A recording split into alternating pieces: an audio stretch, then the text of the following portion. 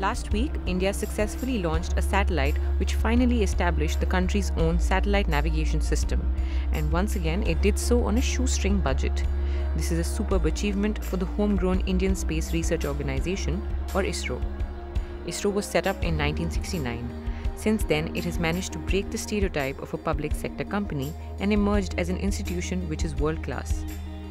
In 2015, it has inked contracts to launch 25 satellites, which include 12 for the United States, 4 for Germany, and 3 for Canada. So far, ISRO has launched 57 satellites for 21 countries.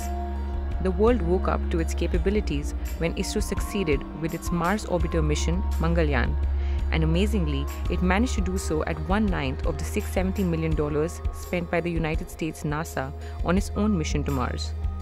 In 2014 September, Mangalyaan entered the orbit of Mars, ending a 300 day voyage. With it, India became the first country to succeed in its first attempt to send a probe to the Red Planet. The 1,340 kilogram Mars orbiter was launched aboard the PSLV C 25 on 5 November 2013.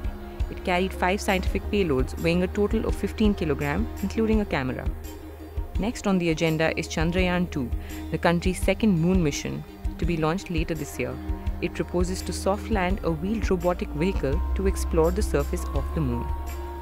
Regardless of whether it succeeds or not, ISRO has undoubtedly ensured its place in history. The trick will be in emulating the ISRO story in other sectors.